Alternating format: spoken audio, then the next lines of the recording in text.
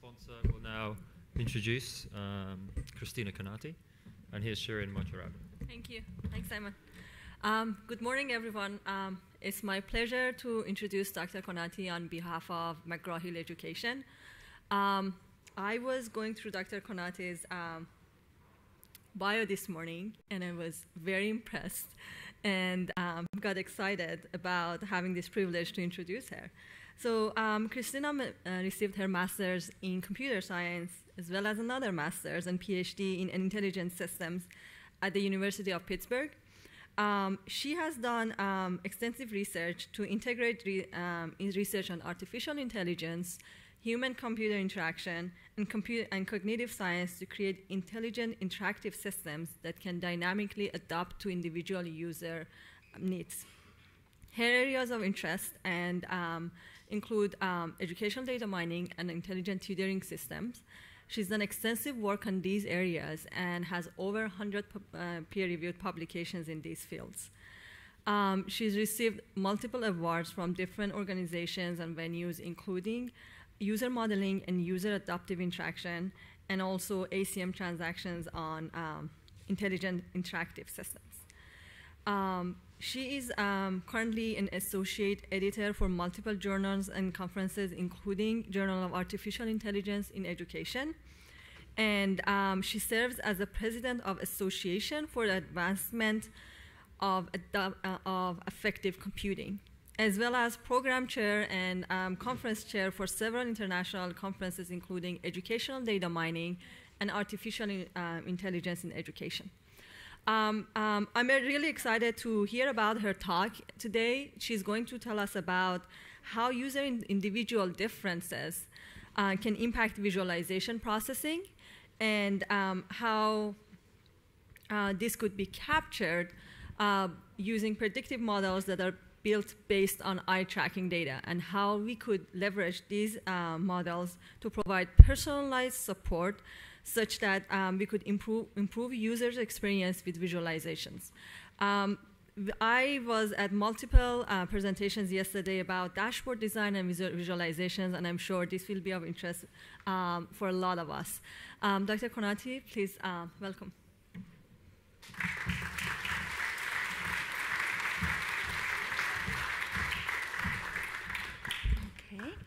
Uh, thanks, uh, um, the organizer. Thank you, the organizer, for uh, inviting me here today for uh, Shirin's kind invitation, and to all of you for attending the talk. Um, I see this as a great opportunity to uh, present some of this work. So, as Shirin mentioned, I've done a lot of research in the fields of uh, intelligent tutoring systems, educational data mining, the work that I'll present today is not uh, as strictly related yet to those fields, um, but I really hope that after the talk there will be ideas from this community to take on some of the things that I am going to say and see if we can actually apply some of these ideas to more educational settings. So I'm really excited of being here. So thanks again.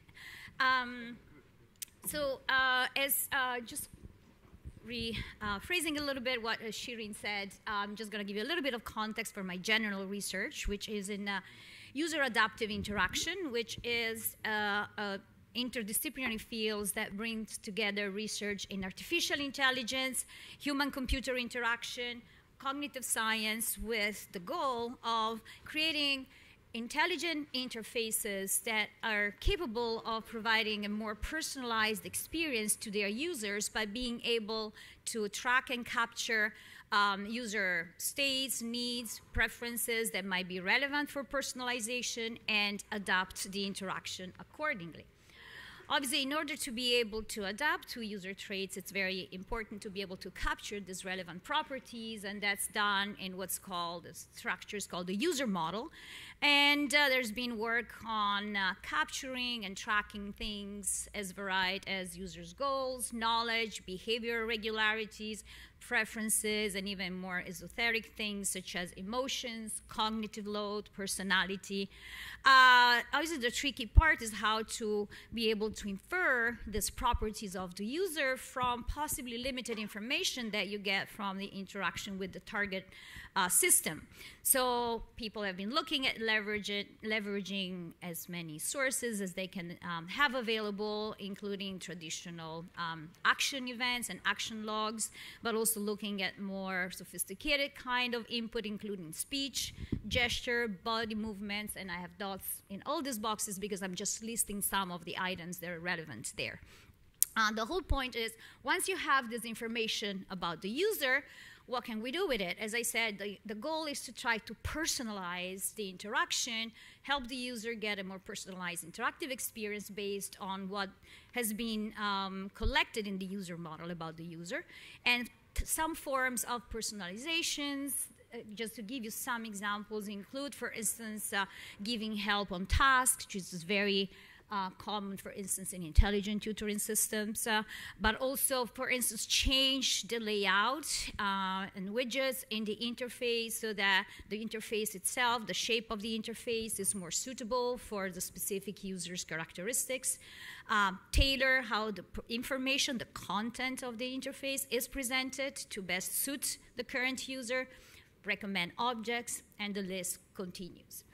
Um, in order to devise an, an user adaptive system or interface, there are three main steps. There's not the only steps, but these are the three initial steps that need to be uh, engaged and need to be taken in order to understand how to best build your user adaptive interactivity.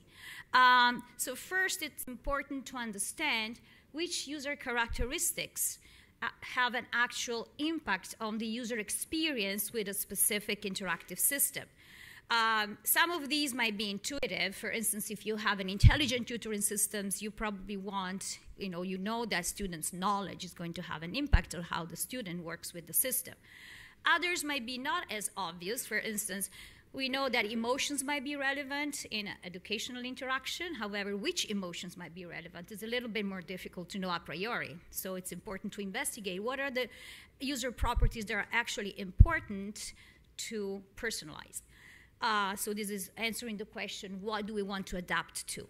Um, it's also important to try and understand how the characteristics that have been found to be relevant in step one actually affect users' performance because we want to see if we can understand um, why this impact happens and which behaviors are affected by these characteristics because they could become points where we want to focus our adaptation. So the second step helps understand how to provide adaptation.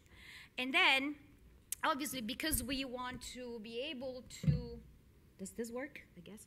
Uh, we want to be able to um, build models that can track this information about the user in real time and react to it, we need to ascertain that we can actually build these predictive models in real time based on the available data to be able to understand when it's important to provide adaptation during the interaction.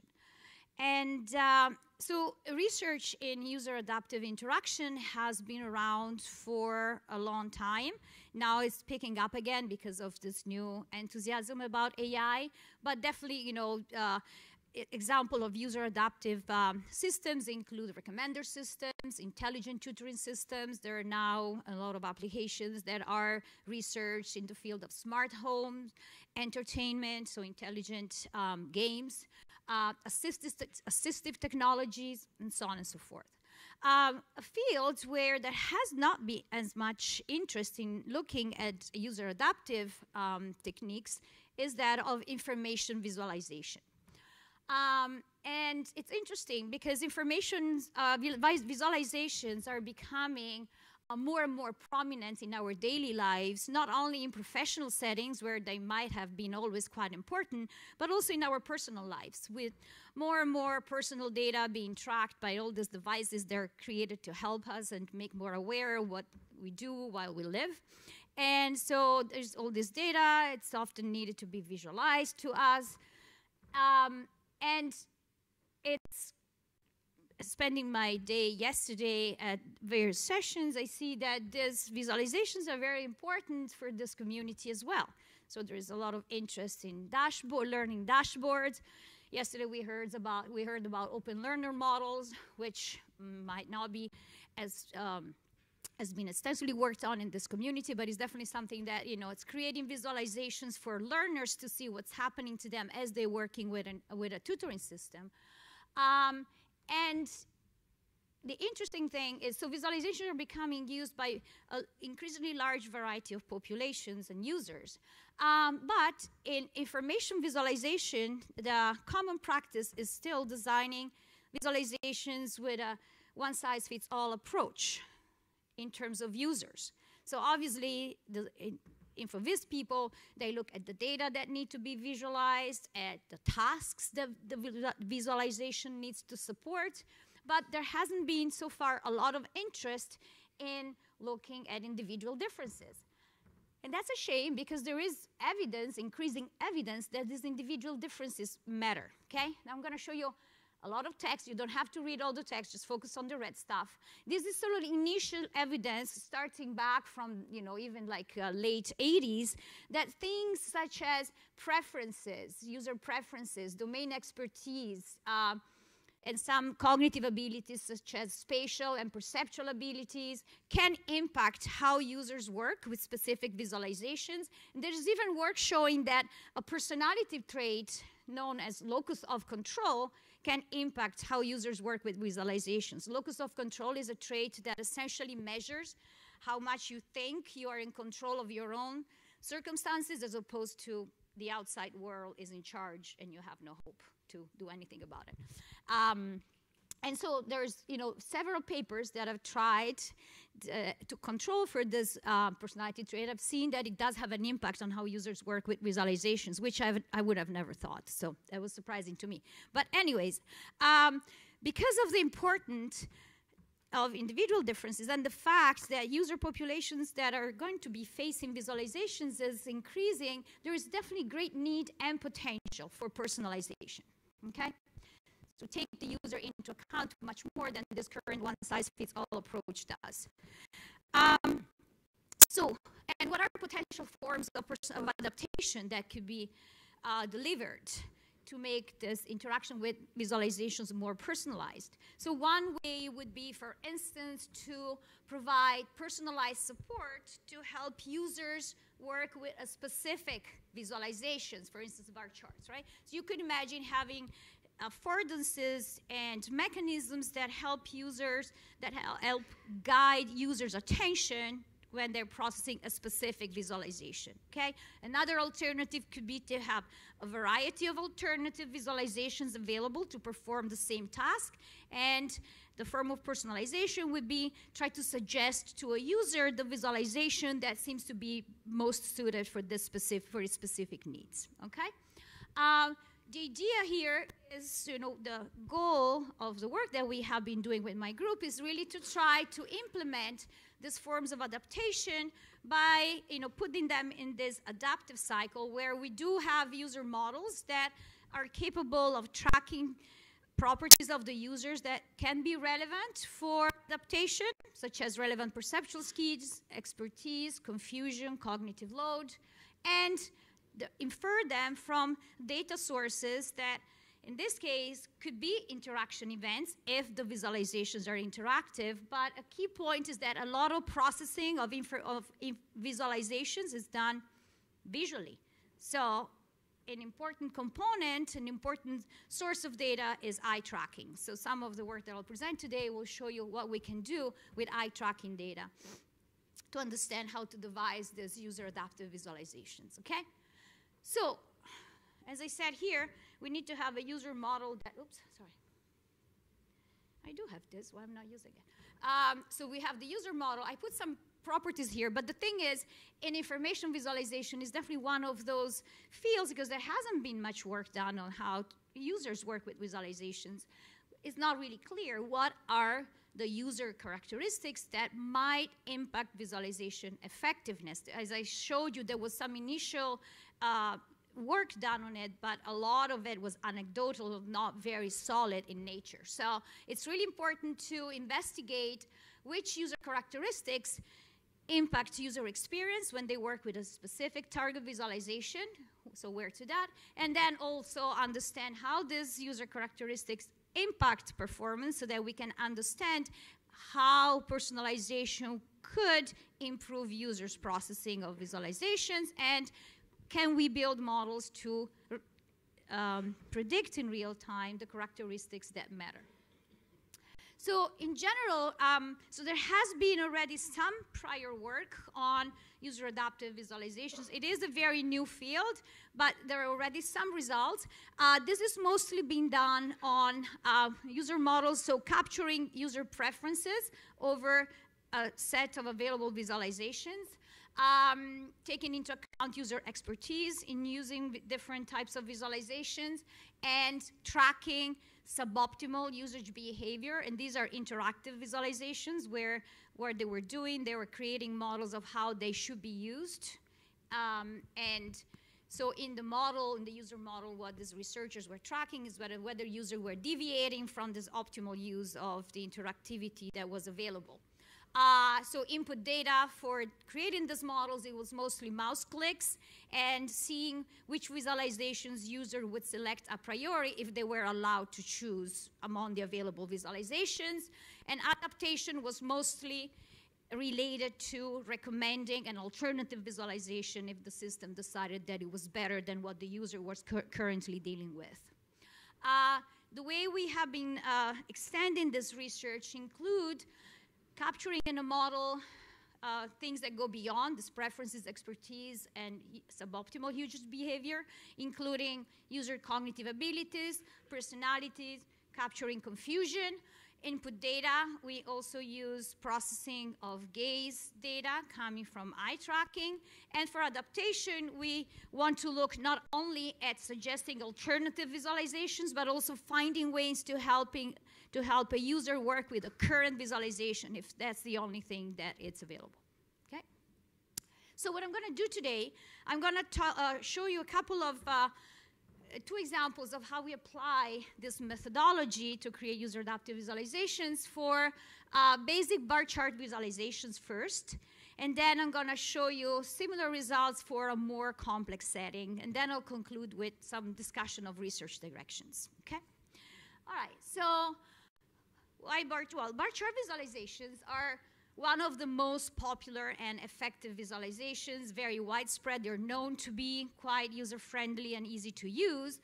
Um, so much so that actually here I have a bar chart visualization that I took from a paper by uh, Schwendimann and colleagues. This paper is, on, is an overview of uh, state-of-the-art of uh, learning um, student-facing, no, no, not student-facing, learning dashboards for a variety of constituencies.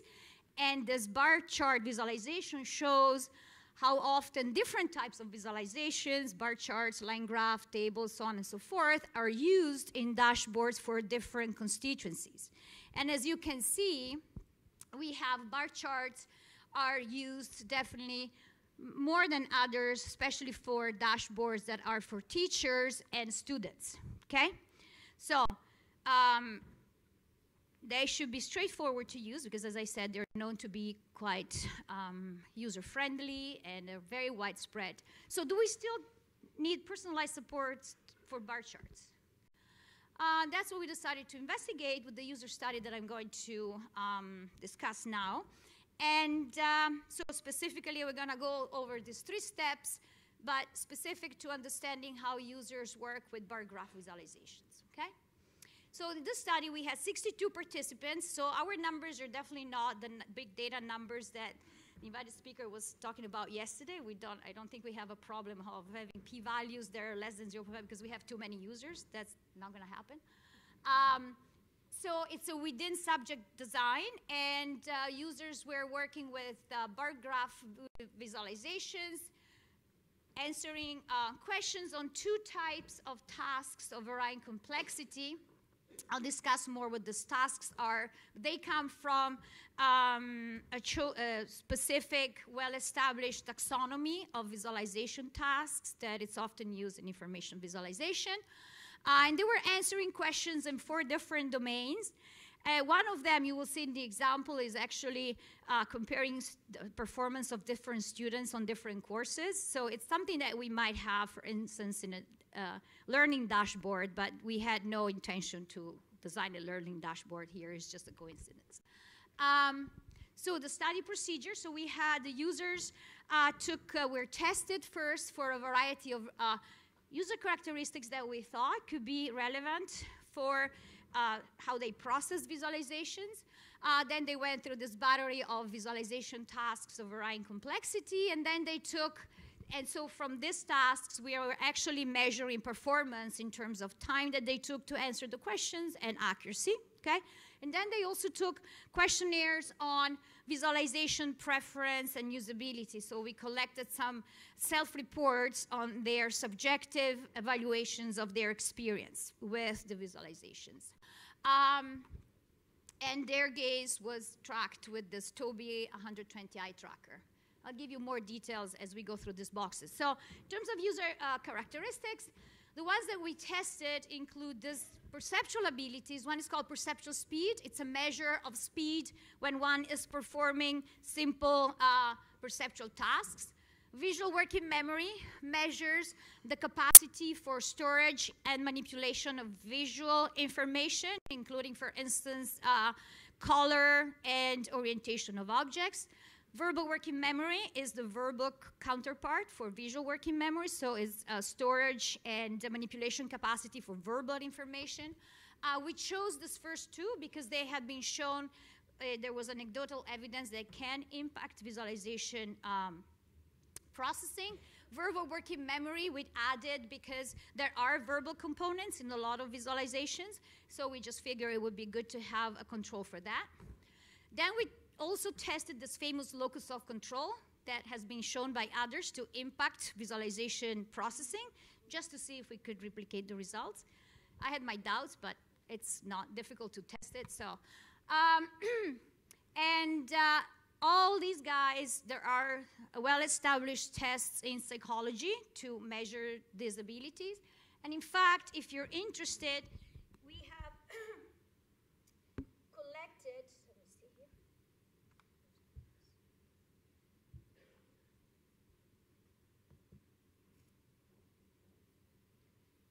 website where we have summarized all the different user abilities that we have worked with in our studies. So if you're interested, uh, I'm not going to go through it now in detail, but for every test, it tells you if there is a online uh, test, if it's on paper, how long it takes, in which publications uh, on user adaptive visualizations it has been used, and so on and so forth. So I can I can discuss it later if you're interested. Um, we also checked for Visualization expertise. This was a self-reported measure where users rated how often they worked with bar charts, just to give a sense of how uh, familiar they are with this particular type of visualization. And there was quite a spread, despite the fact that obviously bar charts are so well used. Um, so then they uh, users went through this battery of uh, uh visualization uh, tasks including the simple one. It's what's called technical retrieve value task. Here you have, so here is an example where we have a set of uh, students uh, taking a variety of courses, and the dark bar in every group, it's the average for the course. And questions on this task could be, so a retrieve value question means that just focusing on finding the specific value in the data set. So an example is, is Lindsay's grade in chemistry above the class average for that course? So you kind of have to go in chemistry and see what happens to Lindsay, the bar for Lindsay and the bar for the average. Uh, and then the user can input the answer here. The other type, more complex questions, are called compute-derived value uh, type, and essentially users have to find values in the visualization and also do something a little bit more elaborate with that. So for instance, here, one question of that type is how many courses are both Lindsay and Kylie, in how many courses are these two students above the class average? So obviously the user has to scan all the different uh, groups and just make the comparison and do their computation, okay? So this is more complex. And finally, the user gaze, as I said, was tracked with this uh, Tobii eye tracker. I don't know how many of you have had a chance to work with eye tracking, but just to show you, this is a very, it's a simple, very expensive, but very simple eye tracker that is uh, uh, mounted on uh, a monitor, completely non-invasive. So what you can see here, if this works, is this is the user where eyes are tracked, but there is no contact with, between the eye tracker and the user. And the eye tracker registers all the fixations on the screen, these red dots, how uh, long they are, and how the transitions between fixations happen. Okay. So the data that we collected from this study is gonna, we used it to look at those three uh, questions on this, these three main steps for devising user adaptive visualization. So the first one, what to adapt to. So we wanted to see which of the tested user characteristics impact performance experience of the user that we measured, as I said before, in terms of performance in answering the questions and also their self-reported uh, satisfaction with the actual uh, visualizations. So what we found, I'm just going to give you a sample of the results here because it would take too long to go into too much detail, but there's more detail in the reference above if you're interested. So we found that users that had lower measures or perceptual speed, uh, visual working memory, and verbal working memory, having lower level of these measures has a negative impact on task performance when tasks get more difficult. Okay? So for the easy task, retrieve value, the differences in these measures don't come into play much, but as the tasks get more complicated, then we start seeing differences, and these are significant interaction effects. So all the results that I'm showing, I'm not looking showing the statistics, but they're all statistically significant. Okay. Um, so this is the first implication for personalization. Users with this lower level of cognitive abilities could benefit for some support in looking in working with these bar graphs when tasks get harder. Okay? So which type of support? This takes us to the second step in our you know, trilogy of steps. We want to look at how to adapt by looking at how these individual differences actually impact users' behavior with the task, in this case with the visualization. Here the only behaviors are visual attention. So we're going to try and see what is the impact of these individual differences on uh, gaze patterns that they have when they look at these visualizations, okay? So just to give you a sense of how we deal with this, how we, uh, we uh, represent gaze patterns. Uh, as I said, the eye tracker gives us uh, measures like fixations on the screen and saccades between these fixations. Uh, and so general measures that are used to have a sense of uh, visual attention include uh, number of fixation, fixation rate, fixation duration over the whole screen, and measures also related to the length of saccades between two between fixations. And there are also measures that are useful. They're like angles between saccades because that gives a sense of how much, uh, you know, how the user is panning uh, the visual display. So these measures can be taken over the full screen, or they can also be taken on specific areas of interest in the um, visualization. In this case, our areas of interest included the top parts of the bar graphs, where all the information is essentially on differences, um, the labels for the different groups, uh, the legend, the question, and the input area. Okay?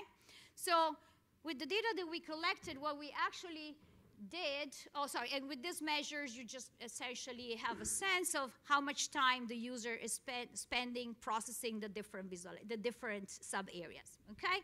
And we use summary statistics to make features out of these measures that are essentially simple statistics such as mean and standard deviation, okay? So what we want to see is how perceptual abilities, the, the cognitive abilities that we saw make a difference in performance with working with the visualization if they impact any of these uh, components of gaze patterns, okay? So again, the analysis and the detailed results are too uh, complicated to discuss here. I'm just gonna give you some examples.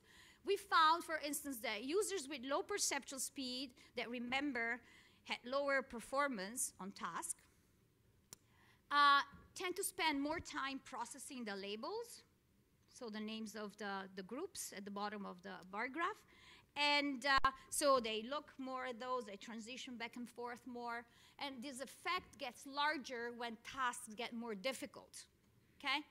So an idea for application for adaptation would be we might want to find ways to help these users with low perceptual speed process the labels better. Because this is something that might be, this is the one difference that we saw between high and low perceptual speed users, and so it might be the reason why they're slower. Okay? Um, some other examples, we also found that for difficult tasks, users with low verbal working memory were spending more time processing the textual parts of the graph. This is not surprising because they have low verbal working memory. They might have more difficult with textual information. What's interesting, though, is that we could actually find this impact from the statistical analysis that we did. The differences in patterns came out, okay? So it's detectable. And uh, low visual working memory users spend more time processing the answer input area. This is not a very intuitive result, but essentially our explanation is because they have lower ability and capacity for storing the uh, properties of the objects, in this case the bars in the graph, they might need to go back and forth more between the input area and the bars before making up their mind what, in how to answer a specific question. So we still don't know exactly how to help these users. But the point is, what these results show is that it, it's important the different types of users have issues with different elements of the visualization. So it would be interesting to focus on way to devise support for these users that target each specific element that is difficult for them. Okay? Uh, and now the final question can we actually predict the user the abilities, this visual working memory, verbal working memory that we noticed are important, could be important for personalization? Can we detect them in real time? Uh, so now we're at this point of the trilogy of steps. Um, and the only way we can predict those is with whatever, the only data that we have available is the gaze data from the eye tracker, so that's what we're gonna do. Um, and so what we did we did some uh, experiments where we wanted to predict, first of all, we also want to see if we can predict ta task complexity because we saw that we not easy tasks did not really require much help for any users because they all did the same on those tasks. But it's important to possibly provide adaptation when the tasks are hard. So can we predict from gaze data if a user is working on an easier or more complex task? And also, can we predict his cognitive abilities? So in this case, we make the classification task binary by splitting users in high and low levels of the three uh, perceptual speed, visual working memory, verbal working memory, using median split for the measures that come out of the tests that we gave them. These are continuous measures. Um, and so we built, I won't go again into the details of the machine learning, but essentially here we use a simple, logist uh, simple logistic class regression from Weka, so like a super simple classifier out of the box, so nothing fancy.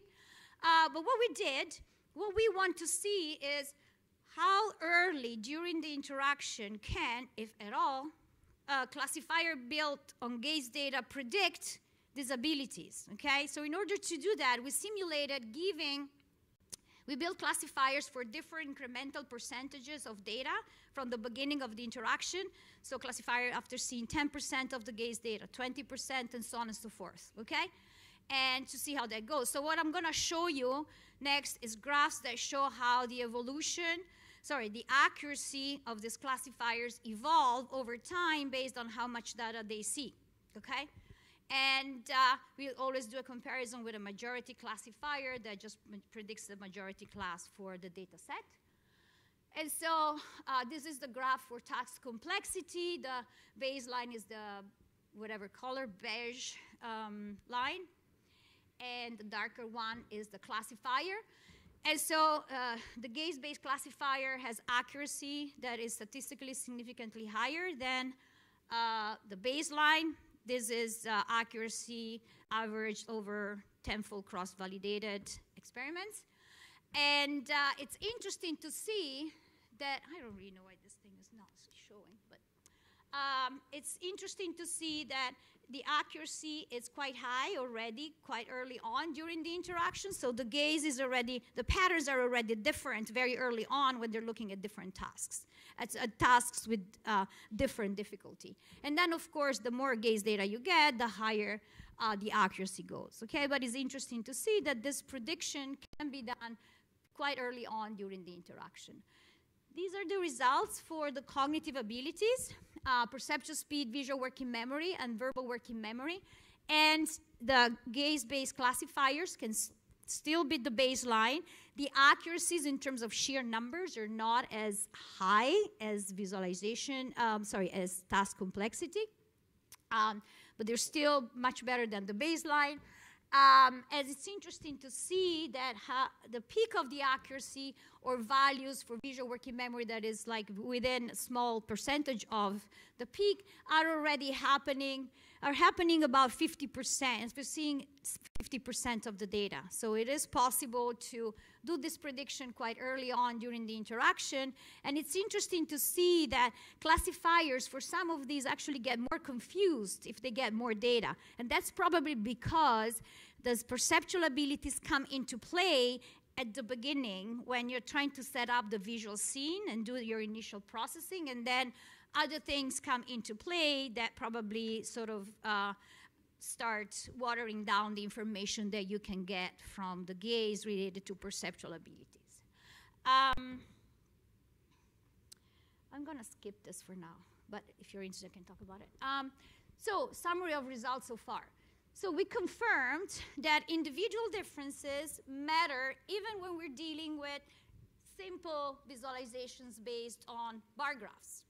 I also showed that it is possible. So um, these differences uh, impact attention patterns uh, on different elements of the bar graph depending on the different user characteristics and this suggests to investigate personalization that target these different elements for the different user types, and also shown some evidence that eye tracking is an encouraging, uh, promising source of data to build these classifiers, okay?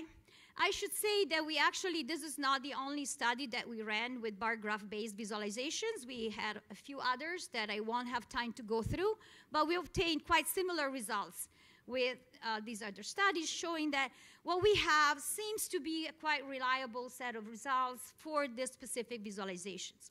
However, to be fair, all these results were uh, generated with um, tasks, lab-based, right, where users were engaging in quite uh, fictitious tasks. They were ask, ask, answering the questions of the type that I showed you earlier, quite disconnected from their own um, actual uh, interest and reality, okay? So we wanted to see if we could actually step this work up a little bit and start looking at if our results actually generalize to more complex setting. By that I mean looking at other visualizations, in this particular case, maps and deviation charts, and I'll explain what they are in a bit.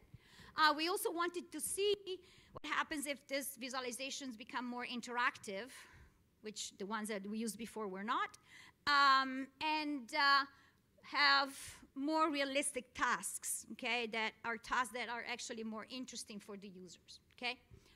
Uh, and so to do that, we looked at, uh, we did some work with a company in Vancouver that has developed this commercial applications called MetroQuest. This is uh, uh, it's a platform to, um, support, it's for decision support, and it's mostly used by policymaker to provide um, interfaces that allow to show um, problems related to environmental policies uh, to the public, to en engage the public in understanding these problems and uh, participating and providing their feedback, okay?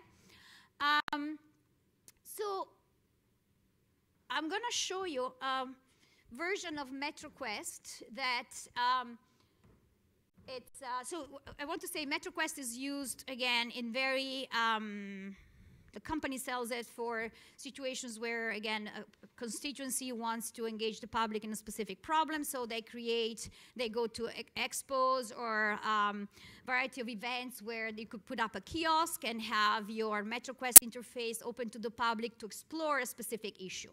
So we developed one that it's uh, for a problem of building three transit scenarios to uh, the commute to the UBC campus in Vancouver. This is a project that the city has been dealing with forever. They, they, they're not able, they, they're not making up their minds because there's a lot of controversy on which solution is the best. So there are three different alternative scenarios. And uh, so this is a project that has been, you know, like uh, the focus of the news and the UBC community. It's very much part of the problem and is very interested in the problem. And so we developed this interface using data that it's actually published by, published by the city. And I'm going to show you a little clip of what this system is about. The MetroQuest interface is designed to guide the user through the process of learning and comparing three proposed transit scenarios in the city of Vancouver. Screen 1 welcomes the user and provides background information about the overall transit project. Screen 2 helps users select and prioritize which indicators will be used to compare the different transit scenarios. Here, the user selects travel time savings and cost as two of the indicators they feel are important. Screen 3 allows the user to learn about each transit scenario using two different visualizations. First, on the right, a deviation chart shows a visual summary of the values of all the indicators. The prioritized indicators selected during screen 2 are displayed at the top. A green arrow indicates that travel time savings will be improved, whereas the red arrow indicates that cost will get worse. Second, a map on the bottom shows the proposed transit route. The indicators are also plotted on the map. For instance, Travel time savings are shown as numerical values at various stops along the way. In practice, the user can compare the three scenarios by switching among the three tabs shown at the top. The user can also provide a rating out of five stars for each scenario.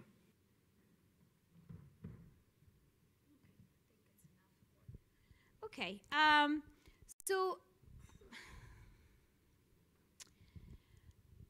I wanted to show this work because obviously, I mean, it doesn't have any you know, resemblance to anything that could be used for education at the moment, right? But there are some things that I, I think uh, there are issues that exist with this application that could be uh, might as well come up when you design, for instance, a dashboard, okay? Because what happens here, for instance, is that um, designing effective and engaging visualizations for MetroQuest is challenging because uh, these visualizations are supposed to be seen and understood by a large diversity, a large variety of population of users. Because as I said before, that could be, you know, like something like this could be put up by the city of Vancouver in some sort of a kiosk just to increase awareness uh, in the public about this problem, right?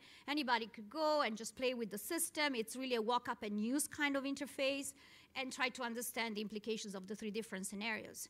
Uh, so it can be users, you know, there are all all sorts of types, and they won't have much time. They, they will go, look at the system, play with it, and maybe never look at it again.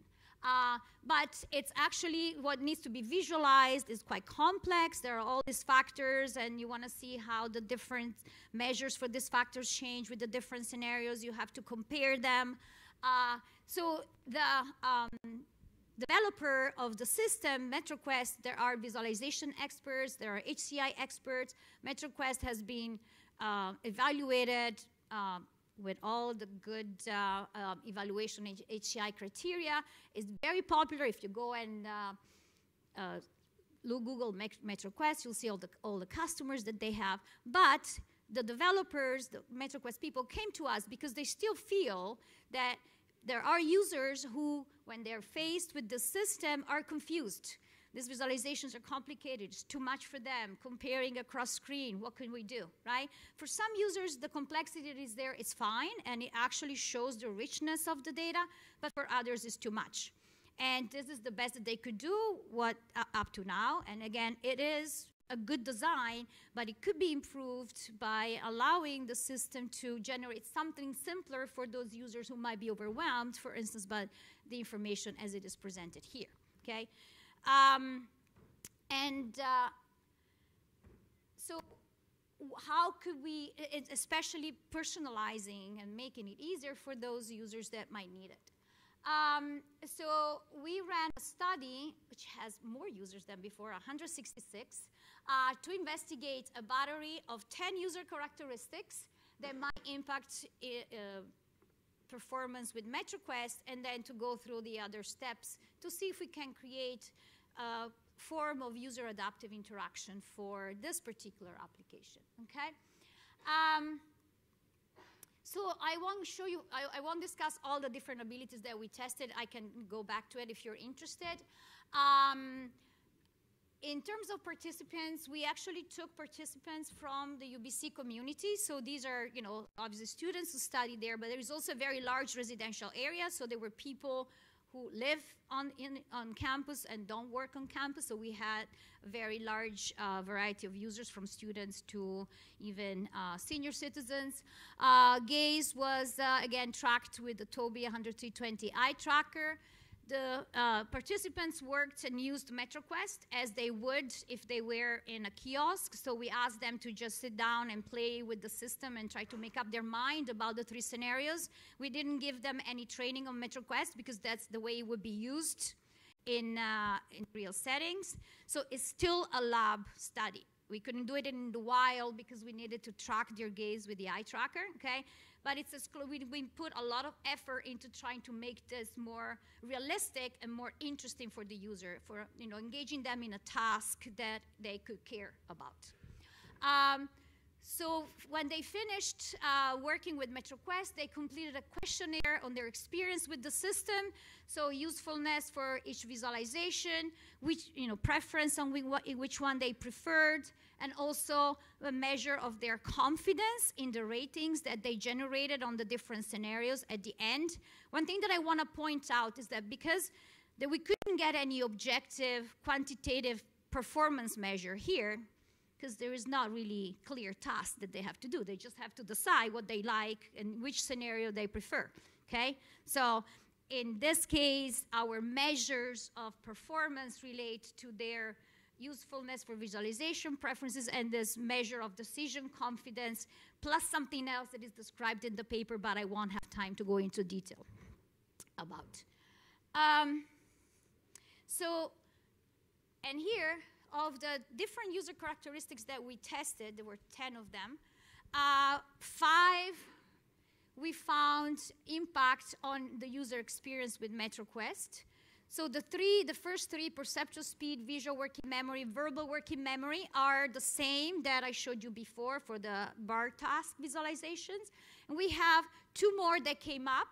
And these are specific uh, characteristics that we put in because the literature in uh, psychology shows that they are relevant for map processing. Okay? So one is called spatial memory, and it's the measure for one's capacity to store and manipulate spatial arrangements of objects. And visual scanning is a speed when, when locating objects in relevant surroundings. Okay? Um, and again, you can see all the definitions and all the tests in that link that I gave you earlier. Um, uh, some of the results, again, I won't be able to list all the results, but to give you a sense here, some of the results that we found uh, included the fact that low um, spatial uh, memory SP? SM. Low spatial memory users uh, found charts less useful. They didn't like them as much as the high um, spatial memory users counterparts. And high visual working memory users preferred the charts over the map. Okay, probably because they're remember visual memory is processing uh, properties such as color and shape, and the chart it's really good about that because it has those arrows that change shape, and uh, the color has a precise meaning. So they had that preference So once again, we find that there is an impact of individual differences, and we could think of providing personalized support based on this finding. Now, what kind of personalization we could consider? For instance, for low spatial memory users who didn't find uh, the charts as useful, we could consider making changes, adaptive changes to the charts. For instance, we could consider showing fewer factors. If you remember, there are seven factors that are shown, uh, but some of these factors are users rank them in terms of importance, so we could just show fewer factors for those that perhaps find uh, seven to be too high and too cluttered. Um, add visual cues for these users to process this visual, this chart. We don't know for sure because we haven't done, if you notice, the second step of analyzing how this uh, low spatial working memory impacts gaze patterns. So it's a step that we haven't taken yet in this particular work, but it's something that we can do with the data that we have available. Another option would be, for instance, uh, uh, allowing, uh, providing a mechanism for them to actually hide the visualization if they don't like it, okay? Same for high visual work, visual working memory users who didn't appreciate the maps as much. So there could be adaptive interventions to make a map more bearable for them. For instance, show simpler maps. But again, even here, we would need to do a more detailed analysis of what are the actual difficulties that these users find with the map. And again, we haven't done it yet. Uh, or allow for hiding the maps. That's another possibility, okay? Um, in the meanwhile, though, can these abilities be predicted in real time during interaction? Because we still want to see if that's possible. Otherwise, there is no user modeling that can happen, okay? So similar to the experiment that we ran before, here we also ran, uh, we turned these abilities, these five abilities that we found had an impact on processing of these uh, visualizations in MetroQuest, split them into higher low levels of these five cognitive abilities. And um, for this particular work, we used information from the eye tracker that is not just the gaze, but we could also use pupil information because we so the eye tracker also gives changes in pupil diameter that it's a very interesting measure that can be related to cognitive load and other um, processing um, measures and also gives information on head distance from the screen which is also something that could uh, show if a user is more or less interested and engaged with the task. Uh, the gaze was tracked over four different areas of interest here. And we trained, in this case, was a random forest classifiers. Again, I will not go into the details of the machine learning, but it's in that paper if you're interested. Um, trained on tenfold cross validation over users. And uh, just some summary of the results. We could predict, using these gaze-based classifiers, we could predict four out of the five cognitive abilities. So we couldn't predict verbal working memory. I guess there are not the differences in the patterns are not strong enough for the predict for the classifier to pick them up.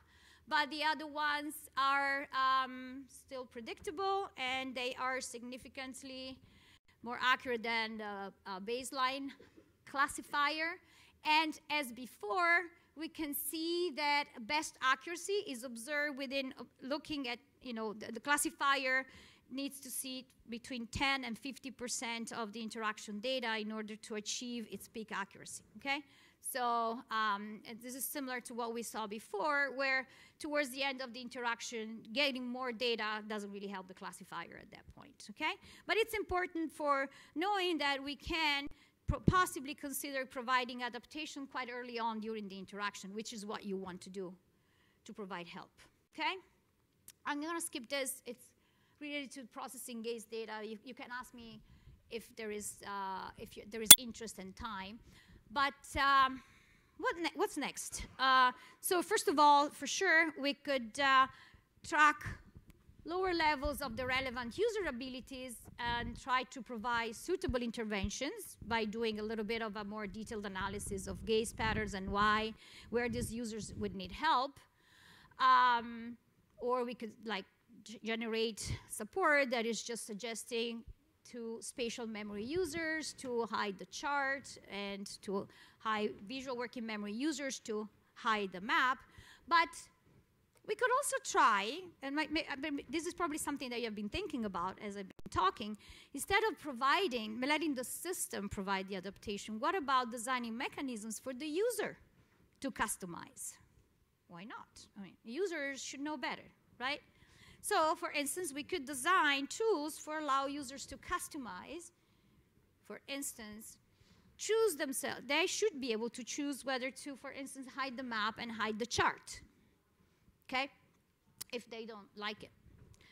So, in fact, uh, we wanted to see that because in all work, uh, the next step after the first three that I discussed when you want to create user adaptive interfaces is really understand how to actually deliver the adaptation because that can be really difficult, okay? This field for a long time was not, in, was sort of like looked upon with a bit of suspicion, from HCI people because, you know, adaptation could be happening behind your back. There have been some very bad adaptive systems that were built where the user like, what is going on? Why they're like, things are disappearing on me. And that is definitely some issues that could exist with adaptive systems. So how to provide adaptation, it's a very important point of or aspect of this research. Uh, and one should always try and see what about customization? let's see what happens if I just let the user choose first, right? So what we did, we generated, uh, we ran a study with 46 participants and with this version of MetroQuest where they could actually um, use and um, hide the map or hide the chart and bring them back as they wanted. I, sorry, I don't have the link there, but you can play with this uh, version if you're interested. It's very simple. You just hide uh, or bring back each of the visualizations. Um, this is very fresh data, so I won't have, uh, I, I, don't have any polished slide to show it. I can definitely give you some more information if you're interested. Uh, but essentially what we found is that um, only 15 out of the 46 users customized, okay? And this is not a unique result. There's been a lot of work on uh, trying customization, and sometimes it works, and sometimes it doesn't. And it's not because here only a few users, I don't remember, I think three or four, said that they were not aware of the customization mechanism or they didn't understand how it worked, although it's kind of hard to believe. But um, the others just said, no, I didn't, I didn't care to customize. I was okay having the two visualizations. And uh, however, we also have data showing that for the users who did not customize, they would have done better if they did. Okay? And even some of those who customized, they would have done better if they didn't. And I can go into the details. There, is a complex analysis that also has individual differences into the picture. But the story is um, it's nice to have mechanisms to customize, but there might always be the need for a little bit of system driven support provided okay? That can help the users customize, especially those users who don't do it because they're, you know, lazy or not confident or they don't understand and so on and so forth. Um, so this is kind of like uh, the end, and I just want to kind of uh, wrap up by reiterating that uh, visualizations are becoming more and more prominent in our daily lives. Uh, there is huge potential. I hope I've convinced you that there is huge potential for personalization. Uh, I hope I've convinced you that user adaptive techniques can help, might help. Um, and there's a lot of exciting work ahead with the idea of providing effective mixed initiative support so when I say mixed initiative support, that means having the system being able to understand how to provide adaptive intervention to the users, but also having the user in the loop to be able to decide whether or not, for instance, to accept the system suggestions or to possibly um, just reject them and have a little bit of a dialogue going on between the user and the system where essentially we are in between customization and system-driven adaptation, okay? And it would be awesome. This is very initial research, just scratch the surface of can, what can be done in this field. So for me, it would be you know, the main goal is to generalize what we've done to other visualizations, tasks, users. For instance, if any of you would like to be doing some of this work applied to learning dashboards, open learner models, I think it would be a, you know, a lot of potential for interesting, interesting results. Um, so just real quick, if uh, um, to bring maybe if someone wants to come to the uh, session afterwards or sort of like work that we have been doing on, uh, for instance, along the lines on how to provide mixed initiative support. We have been doing some work on testing, um, highlighting interventions on bar graph and how they can provide it in an adaptive manner, and also on predicting user confusion, which would be if you predict that the user is confused at any given point during interaction, that's a good time to provide adaptation. And we're also working on uh, transferring and generalizing some of the work that we've done on pure visualizations to situations where we have narrative visualizations. So there is text and graphics. And uh, I think I'm going to finish here. Oops. Go back. And I want to thank all the people who have done amazing work here. The first two are professors, but all the people in are students or postdoc, and they've done really an amazing work. Unfortunately, I wasn't organized enough to have pictures up, but uh, they're still great. And I also want to thank you for inviting me and for your kind attention. Thank you very much.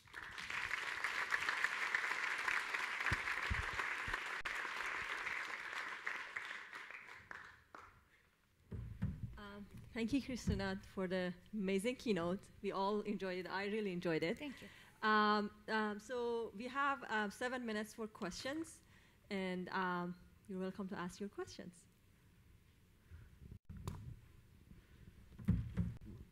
Yes, thank you. I have a question. I'm interested if you've done any work in terms of the map use in MetroQuest and how users customize it using the zoom and focus functions. Because to me, that seems like something we all customize on a daily basis without realizing that we're customizing it for ourselves. Because if we had lower uh, visual working memory, for example, we might tend to focus in on certain parts. So, have you done any work on that customization? Not at all, um, but it's it's a it's a fantastic idea, and it's definitely something that we would like to try. So we definitely just started with the simplest form of visual of customization that we can think of. Also, we don't have a lot of uh, freedom in how we can. It's not an open um, source system, so unfortunately, any change is painful. So this is an easy enough one. But, uh, but what you're suggesting is great. Actually, it's, it's something else that we could definitely try.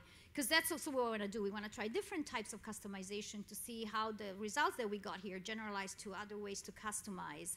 Uh, to really understand that well, you know, what is the tipping point for users to you know, be doing the work themselves or needing a little bit of a push from the system. Mm. But that's definitely something. Thanks for the suggestion. It's a great suggestion. Yeah.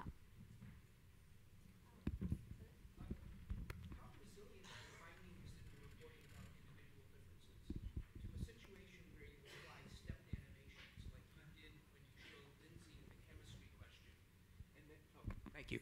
Uh, when you showed Lindsay in the chemistry question, you later came back to it and put the double arrow showing here's Lindsay's bar and here's the average bar.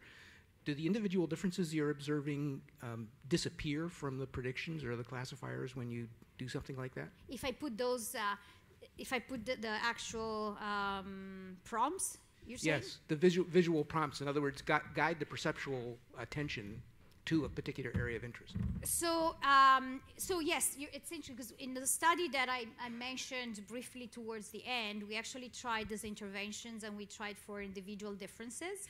And uh, so, in terms of performance, if I re- recall correctly, co- correctly, having the interventions helped in general but it was not depending on individual differences. They were just preferences. It was not objective performance, but there were preferences that different users had over the different uh, types of interventions. So having those interventions do help. Yeah. Uh, if I could just make one little plug for finding from learning science here. Uh, those in the field of education will have heard lots about learning styles over the last decades. And the issue about preferences is one that's quite interesting because what the literature in the learning style shows, for instance, is that people who have a visual preference over a textual preference don't pay attention to the visualizations more than the text. They don't have the kinds of abilities that you're describing that differentiate them from people who say they prefer text, and they don't score any differently on various measures of problem solving or comprehension. So the question about whether visual, or rather preferences is the way to go when thinking about visualizations, at least standing on that literature, is one that you might think about, maybe we should ignore what people think they like. Actually, it's, it's, it's a very good point, and we always try to test for both preferences and actual performance, uh, especially to see if there is consistency between what they prefer and what they actually do, right? So i- it's a great point. We're, all, we're aware that preferences are not necessarily um, reliable. And in fact, that's one of the issues with customization, right? Sometimes users customize based on what they prefer, but not in terms of what is good for them. And the results that I have on this customization study, it kind of shows that a little bit. I have data, but again, I can discuss it later. Um, but yes, in that case, you're right. I mean, they, they were preferring certain interventions, but there was no difference in performance. So, what do you do with these preferences? I mean, I don't know. so, if they don't contradict performance, then I guess you can just indulge the user and say, well, you know, it doesn't matter to what you know in terms of what you do, but if you prefer this, I can give it to you, right? So you can see I'm that for way. indulgence. Yes. Um, unfortunately, we're out of time. Um, uh, I apologize for that, but um, we will have another session at 10:30 uh, for questions and answers with Christina. So you're welcome to join that. Thank you, everyone.